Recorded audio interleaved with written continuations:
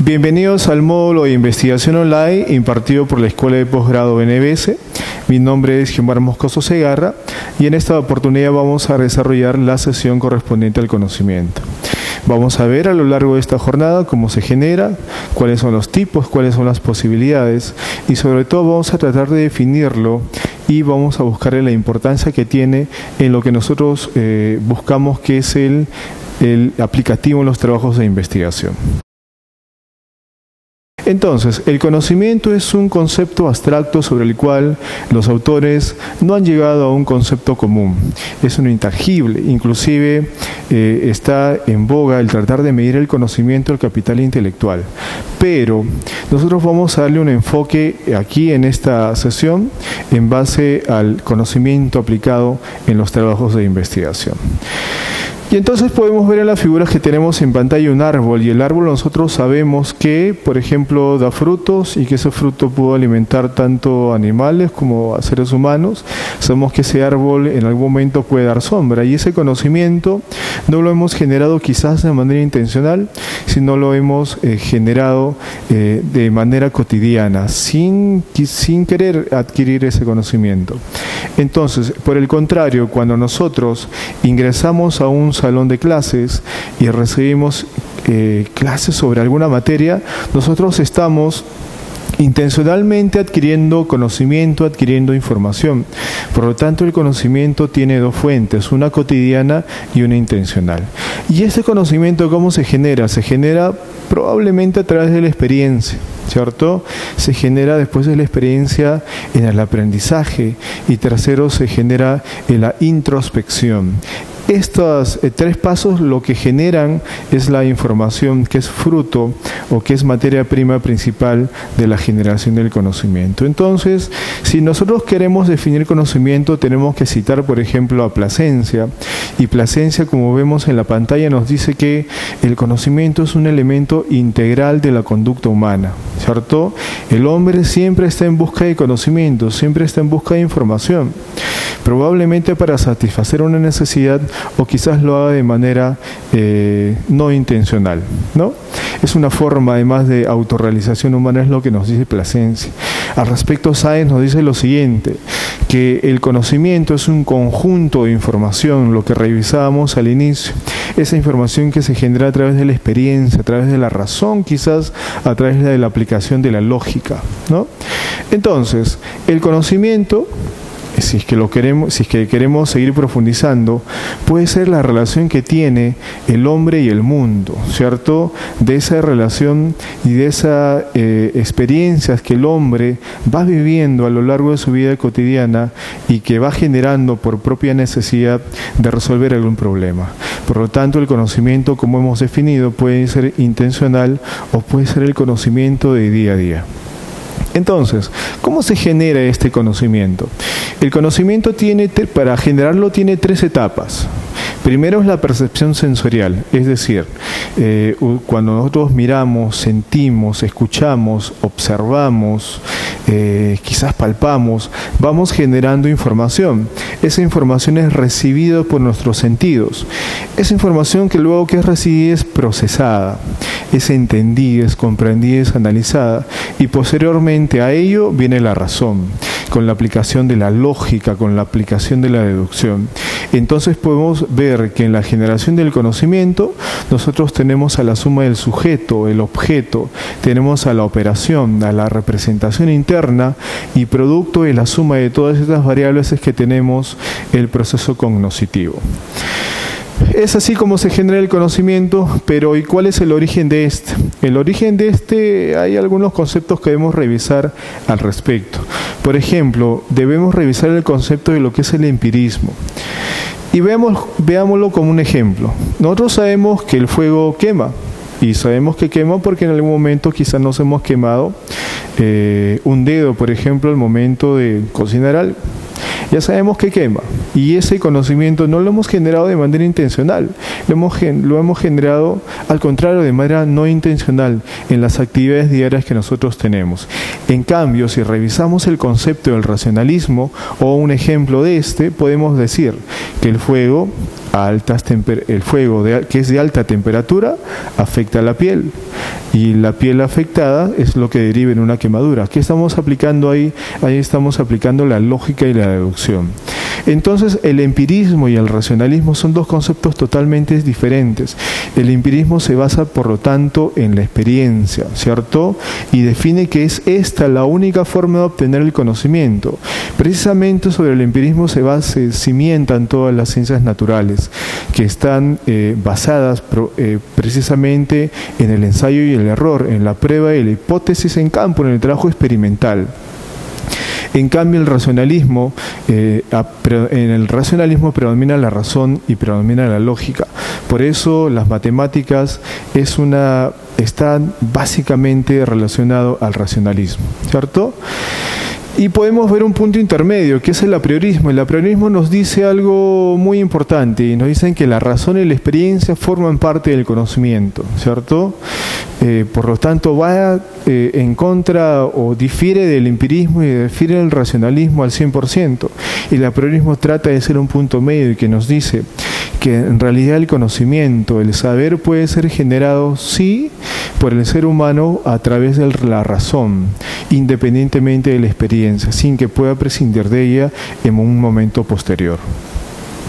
Entonces, una vez que ya hemos revisado qué es el empirismo, qué es el racionalismo y una vez que ya definimos el apriorismo, entonces debemos de conocer de dónde proviene el conocimiento. Y el conocimiento proviene, como habíamos visto, proviene de toda la información que nosotros vamos recopilando producto de nuestras actividades ordinarias y producto además de la necesidad de satisfacer alguna necesidad, ¿cierto? Pero ¿cómo se genera este conocimiento? Quizás cuando usted, como vemos en la pantalla, estaba aprendiendo a escribir, una persona tuvo que enseñarle cuáles son los símbolos de la escritura, tuvo que enseñar el alfabeto. Quizás cuando usted empezaba a hacer sus primeras operaciones de suma, tenía alguien que enseñarles eh, cómo son los números y cuáles son, los, cuáles son las operaciones básicas de la aritmética. Ese conocimiento se ha generado producto de que usted recibió información, la interiorizó, ¿cierto? La entendió y posteriormente la ha razonado. Ahí estamos hablando del proceso cognoscitivo. En un aula de clases lo mismo, cuando usted ingresa a recibir una clase, por ejemplo, de finanzas, de investigación de mercados, de economía o la ciencia en la que usted se especialice, entonces nosotros recibimos también información de parte de un facilitador. Nosotros la recibimos a través de nuestra percepción sensorial, la asimilamos, la entendemos y la razonamos y producto de ello generamos nuestros propios juicios. Es aquí entonces que estamos ante el proceso cognitivo y es ahí que se forma el conocimiento. Entonces, ese proceso cognitivo se forma a través de la inteligencia, se forma a través de la atención, se forma a través de la memoria y sobre todo interviene el lenguaje, ¿cierto? Ahora, ¿por qué decimos inteligencia? Porque quizás los animales también generan conocimiento. Ellos tienen conocimientos que van generando de manera cotidiana, pero es un conocimiento quizás heredado, ¿cierto? Es más la adaptación en una costumbre. En cambio, el hombre utiliza la inteligencia precisamente para razonar y para aplicar la lógica a la información que va recibiendo. Entonces, entendamos que lo que interviene en el proceso cognitivo es la inteligencia, la memoria, la atención y el lenguaje, elementos básicos para que éste se genere. Pero ¿cuáles son los tipos de conocimiento que existen? Tenemos que entender que el conocimiento puede ser cotidiano, como ya lo habíamos mencionado, que se va generando a lo largo de la existencia de la persona. Tenemos que ver que, por ejemplo, cuando usted empezaba quizás a caminar cuando era un bebé, ese conocimiento lo fue adquiriendo de manera eh, eh, no intencional, simplemente para satisfacer la necesidad de moverse de un punto A a un punto B. Cuando después usted aprendió a caminar y iba por una vereda, le decían a usted que no cruce para la pista quizás. Entonces ese conocimiento usted lo ha ido asimilando, lo ha ido entendiendo. El conocimiento revelado, por ejemplo, es el conocimiento que es adquirido a través de la tradición y a través de un dogma, ¿cierto? Generalmente el conocimiento revelado está orientado al conocimiento que deviene de la fe, que deviene de la religión, ¿no? Este conocimiento, ¿cuál es la principal característica? Que no puede ser refutado, es entendido absolutamente como verdad ¿cierto? Y no puede ser validado. Aquí en el conocimiento revelado no cabe la aplicación, por ejemplo, del método científico.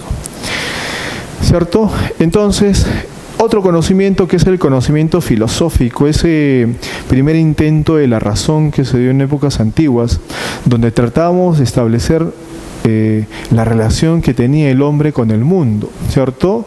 Producto de esa relación, de ese entendimiento de qué tenía eh, por finalidad el hombre o cuál era la finalidad del hombre en el mundo, probablemente se generaron a partir de ahí las leyes de la, naturaleza y mucho más adelante y posteriormente al conocimiento filosófico se generaron las ciencias, eh, principalmente las ciencias naturales, ¿cierto?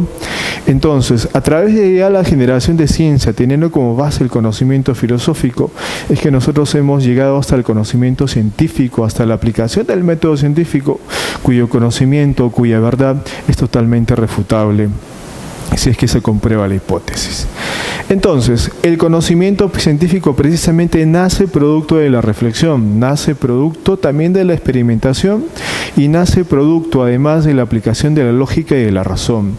Es este conocimiento científico el que se basa en la aplicación precisamente del método científico. Sin el conocimiento científico, este que puede ser refutado y que puede ser cambiado inclusive totalmente eh, con la posterioridad de los años, nosotros seguiríamos creyendo, por ejemplo, que la Tierra es plana, ¿cierto? O seguiríamos creyendo que todo gira alrededor de la Tierra. ¿Qué posibilidades tiene el conocimiento entonces? El conocimiento tiene la posibilidad del dogmatismo, que es la verdad irrefutable, ¿cierto? Es la verdad incontrastable, es un fundamentalismo intelectual, que donde se asume el conocimiento, esa ciencia, ese saber como absoluto. No hay posibilidad ahí de poder eh, validar ese conocimiento de alguna forma. Y es cuando, por ejemplo, usted alguna persona mayor le refutaba algún comportamiento, lo hacía bajo su propia experiencia y bajo su propio dogma. Quizás él entendía como verdad una actitud que usted no lo entendía, pero hay que, hay que comprender que eh, los dogmas también son un tipo de conocimiento. En el caso del escepticismo, el escepticismo es todo lo contrario que el dogmatismo. El escepticismo nos afirma que la verdad absoluta no existe y que si existiera el hombre es incapaz de conocerla. Ve por lo tanto el conocimiento y la verdad desde un punto de vista muy exigente y demasiado crítico que hace que ese conocimiento no sea establecido eh, como verdad absoluta. ¿cierto? Y se analiza, por lo tanto, el conocimiento desde una postura muy crítica. En cambio, el subjetivismo eh, analiza el conocimiento, sí, pero también establece que entre el sujeto y el objeto hay una relación muy importante, entre el que investiga y lo investigado hay una relación muy importante y por lo tanto subjetiva, donde hay que analizar con cuidado los sesgos que se pueden introducir en la investigación y que, pueden afectar probablemente la, la validez de la verdad que estamos generando. ¿Cierto? Entonces, el pragmatismo es otro concepto que tenemos que desarrollar. El pragmatismo busca las consecuencias prácticas del conocimiento y establece que no hay conocimiento válido que no sirva en aplicación de una actividad diaria, que es el conocimiento, entonces, el de aplicación práctica. Por ejemplo, ¿Cuánto, si nos hacemos la pregunta, cuánto tenemos que invertir para modernizar la planta y producirla y ampliar la producción? Nosotros estaremos en la búsqueda de un conocimiento totalmente pragmático, porque estamos buscando esa verdad para que sea aplicada en alguna actividad diaria. Finalmente, tenemos, que revisar el criticismo. Nace de la escuela, de la escuela crítica que, por ejemplo, establece Jürgen Habermas. Y él nos dice por ejemplo, que la relación entre el sujeto y el objeto es muy fuerte, es muy parecida al subjetivismo. Establece que hay un, existe un sesgo natural e irreemplazable en los, en los trabajos de investigación, ¿cierto? Porque cuando un investigador eh, trata de descubrir una verdad, intervienen en ese proceso de investigación los propios valores, los conceptos éticos, la sociedad donde se envuelve hasta el entorno social y el entorno económico intervienen en la manera en cómo el investigador aborda su investigación. Por lo tanto, el criticismo lo que establece finalmente es la eh, refutabilidad del conocimiento constante, ¿cierto? Que ningún concepto es totalmente absoluto, sino que todo conocimiento puede ser validado finalmente. Entonces, para culminar esta primera sesión del conocimiento, tendremos que ver que el conocimiento precisamente puede ser intencional, puede ser además el conocimiento de día a día, que existen muchas posibilidades de este y que se desarrolla o se genera a través del proceso cognoscitivo. Muy bien, hemos concluido con la presente sesión. y Nos vemos en la siguiente jornada.